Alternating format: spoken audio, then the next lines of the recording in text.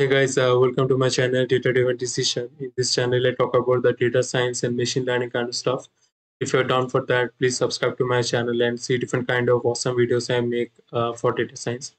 So today's topic is just the successor of our previous video. It's all about the function. So in previous video, video we talk about the how the function creates in how to function created in Julia and Python both.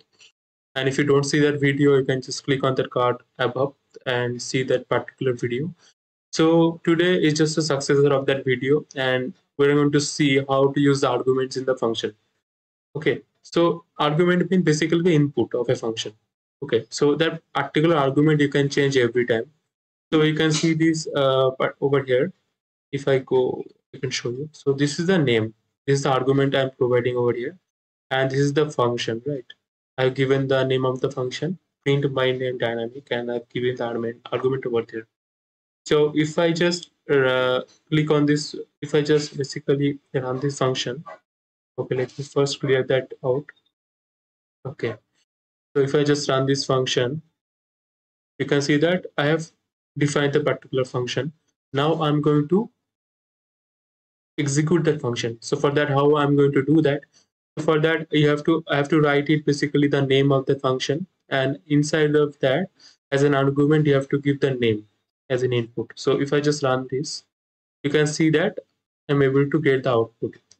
It's a region basically. Because it's a notebook it is going to show you the output. But in normal it is not going to show that output. You have to use the print function so over here you can see that i have used this dynamicity on that function so i can change the name of it so it's going to give the different different values okay so I can put it like a name equals to this, or I can just simply put the name over here. I don't have to mention the name equals to.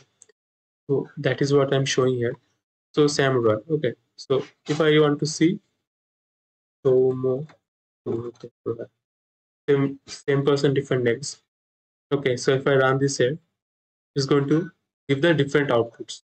So that's the dynamicity of a function. So you can change the dynamic characteristics of the function. You can give different different inputs of the function. And it is going to provide you different different outputs based on the inputs you provide. Okay. So, so in the next cell what i'm going to show you is that over here you just put the string as an input. But the same function you can just put anything like you can just put the number like 1 2 3 4 i have provided but still it's going to give you the output. But the the function do not know what you put in inside of the function okay in general but you can customize it based on your requirements. So that is what the flexibility of python okay, or any programming language for function is that or mostly in python and this dynamic languages there you don't have to put the uh, type of that input variable okay so you can see that it's showing as an output okay that is what you have provided here so there I'm creating another uh, function income tax finder. So you just put your income and it takes the 15% of default tax rate and give you the tax out of that income. That is that I have provided here. So if I run this cell, so yeah, I've given this uh, 2 lakh as an income. Okay, so what will be the tax out of it? So you said only 30,000 uh, in tax you have to provide an income tax in this way using this particular formula. So over here, I've given a constant 15% uh, income tax rate. Okay. But I can also change that income tax rate based on the different different income tax on different different countries. So how I'm going to do that? So over here, income tax finder dynamic. Okay. So there I've given the income and the tax percentage. Okay. So I have defining this particular function and also I can change the income and the tax percentage basically. So over there it was a constant 15%. So now given to the 30%. So if I just convert it to the 15 again, and if I run it, it is going to save that, uh, it is going to give that output as 30,000. so what is the 15% of 2 lakh? It's going to be 30,000. Okay, so we can save the output of the function in the case of the return statement. So over here, what happened is that I have used the return statement over there. Okay, so it is going to save that output if you want to put it in a particular variable but you can also use the print function so you can see that I have written that output. So 13, 30% would be 6,000, right? 60,000.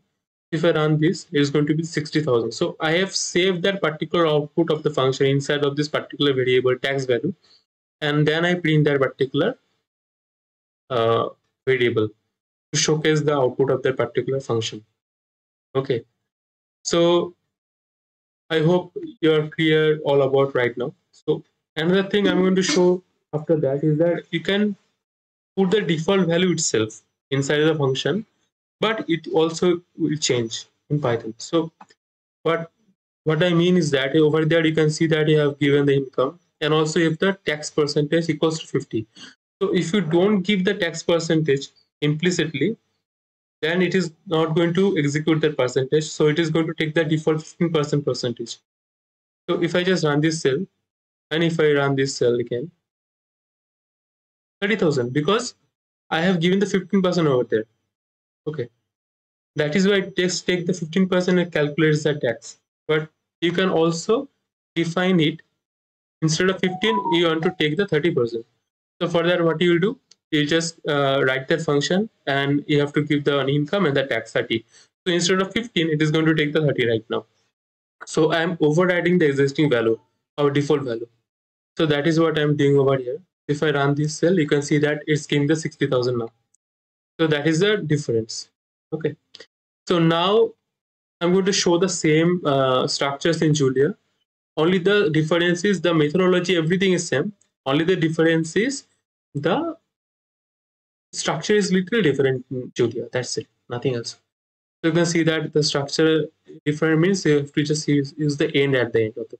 That's the only difference and another one is that you don't have to use the parenthesis over here you have to just give the function name. Do not have to give any parenthesis uh, you have to uh, tab you have to keep the indexation and at the end you have to use end so that's the structure function structure in julia. The same thing i'm going to write it here. You can see that i'm going to print my name. So dynamic name i'm using. Okay. Okay, so one thing is that in Julia, uh, you cannot write like this, like name equals to sample. You, you have to only use the name itself. Like in Python, it was, you can write it like this. Like either you can write it like this, or you can write it like this. But in Julia, you have to write it like this only. You cannot write it like this. That is why it's showing the error. That's another difference we have seen. So the flexibility is same. Like you can put anything inside of a function. So it's going to give you the output. Okay. So again, you can see that income tax default value. Okay, same output it is going to provide it. Okay, same thing. But in as I said you, that's the one thing you cannot do in Julia. Like uh, you cannot put the name equals to this something inside of a function parenthesis but also you cannot use the default arguments in Julia. It's like over here, you can see that like uh, tax percentage equals to 15 that you cannot use in Julia. I'm showing you through the, it is uh, showing their output. Okay, but you can see this showing the error because you cannot give the one value only. You have to use the different values over here. Like it is not taking that uh, default value inside of a function. So you have to ex explicitly define that uh, percentage of tax over here in that particular use case. Okay, so if I write it like this, if I just 15, then it will take. It will not take. So I hope you like the video. It's all about the Julia. It's little early language, so that is why there are a lot of confusions are there still. But so I hope uh, through this journey of Julia and Python, you're about to get some information so which will help you in your data science i hope you like the video. If you like it please subscribe to my channel and see different kind of videos i make. Uh, i'll see you soon with a new video. Thank you